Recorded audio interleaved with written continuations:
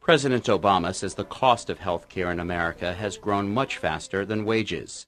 He says those overwhelming costs result in a bankruptcy in the U.S. every 30 seconds. In announcing his choice of Kathleen Sebelius to head the Health and Human Services Department, he said the U.S. cannot afford to delay health care reform.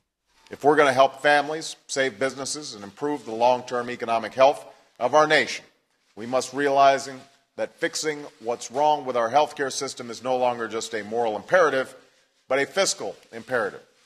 Healthcare reform that reduces costs while expanding coverage is no longer just a dream we hope to achieve, it's a necessity we have to achieve. Governor Sebelius is President Obama's second choice to lead the government agency overseeing U.S. health care. Former Senator Tom Daschle was forced to withdraw from consideration after acknowledging he failed to pay more than $100,000 in back taxes. Before she was elected governor of Kansas, Sebelius served as the state's insurance commissioner, drawing praise for using that post to advocate for consumer rights.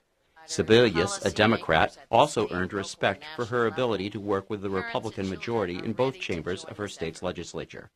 This isn't a partisan challenge, it's an American challenge, and one that we can't afford to ignore. If confirmed, Sebelius will take control of an agency of some 65,000 employees with a budget of more than $700 billion. The nomination comes as Mr. Obama prepares to host a summit on health care reform at the White House later this week. That meeting will include lawmakers and representatives of various interest groups, including insurers and drug companies. Robert Raffaele, VOA News.